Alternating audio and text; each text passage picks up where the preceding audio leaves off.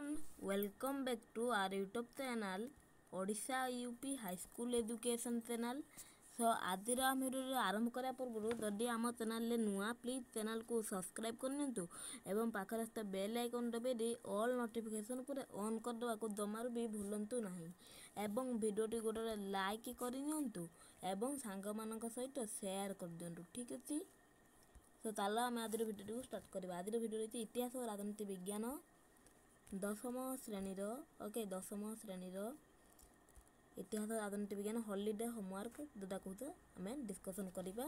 ଭିଡ଼ିଓଟି ଆରମ୍ଭ ଶେଷରେ ଦେଖିବାକୁ ଅନୁରୋଧ।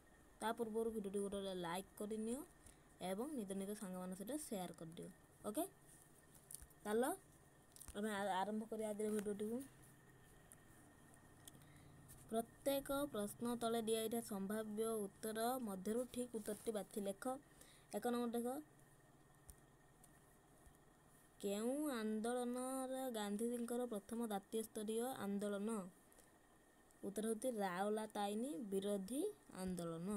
ନେକ୍ସଟ ହେଇଥିବା କାଇଦର ଇ ହିନ୍ଦର ଅର୍ଥ କ'ଣ? ହିନ୍ଦୁସ୍ତାନର ସମ୍ରାଟ। ନେକ୍ସଟ ହେଇଥିବା ପ୍ରଥମ ବିଶ୍ୱଯୁଦ୍ଧରେ ତୁର୍କୀ କାହା ବିରୋଧରେ ଯୁଦ୍ଧ କରିଥିଲା? ଉତ୍ତର ହେଉଛି କେନ୍ଦ୍ର ଶକ୍ତି। ତାପରେ ଦେଖ।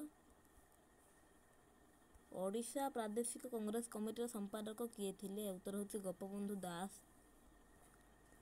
ତାପରେ ଦେଖ ସୀମାନ୍ତ ଗାନ୍ଧୀ ଭାବେ କିଏ ପରିଚିତ? ଉତ୍ତର ହେଉଛି ଖାନ୍ ଅବଦୁଲ ଗଫର ଖାନ୍। ଠିକ୍ ଅଛି ଆମେ ଏଇ ଭିଡ଼ିଓରେ ପୁରା ପାଞ୍ଚଟି ଡିସ୍କସନ୍ କଲେ କ'ଣ ପାଞ୍ଚଟି ଏମ୍ ସି କ୍ୟୁ ଡିସ୍କସନ୍ କଲେ ଆପଣମାନଙ୍କର ଇତିହାସ ରାଜନୀତି ବିଜ୍ଞାନର ସରିଗଲା। ପୁଣି ଦେଖାଇବା ଆଉ ଏକ ନେକ୍ସଟ ଭିଡ଼ିଓରେ ସେ ପର୍ଯ୍ୟନ୍ତ ରହୁଛୁ। ସମସ୍ତଙ୍କୁ ଅଶେଷ ଅଶେଷ ଧନ୍ୟବାଦ।